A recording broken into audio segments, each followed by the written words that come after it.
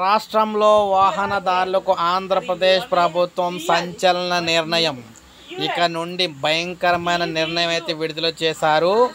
So ఆంధ్రప్రదేశ్లో ఆంధ్రప్రదేశ్ ప్రభుత్వం ఒక భయంకరమైన నిర్ణయం తీసుకుంది. ఇకపై బైక్ మీద కానీ కారులో కానీ ఆటోలో కానీ ఇయర్ ఫోన్స్ హెడ్ ఫోన్స్ పెట్టుకుంటే ఇరవై వేలు జరిమానా వేయనుంది.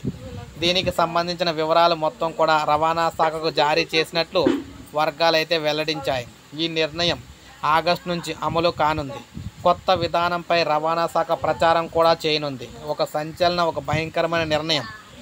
ఒక చిన్న పొరపాటు ఇరవై వేల రూపాయల జరిమానా మీ చేత కట్టిస్తుంది.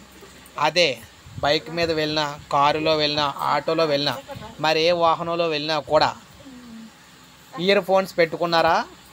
అంతే.